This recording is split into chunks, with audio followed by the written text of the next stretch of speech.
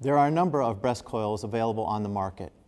We have experience with the MachNet, the InVivo 4 channels and 7 channel coils, as well as the USAI 8 channel coil.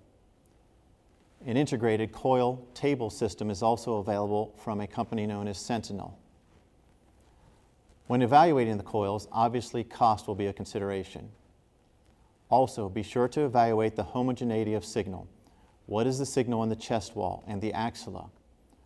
Protocolling is always a balance between temporal and spatial resolution.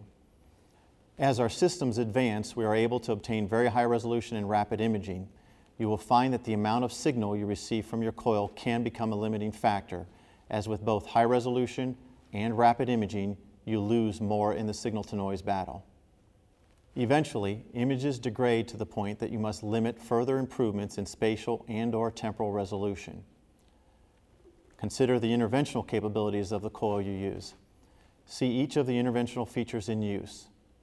Consider the primary purpose of your coil as to whether it is for diagnostic imaging or intervention. Keep this in mind as you evaluate the features of each coil. Don't forget to assure compatibility of your coil with the remaining components of your breast program. Be sure that the number of channels of your coil is compatible with your magnet and that the amount of data produced does not exceed your reconstruction computer capabilities. Additionally, assure compatibility with both your CAD system as well as any possible biopsy equipment you may purchase.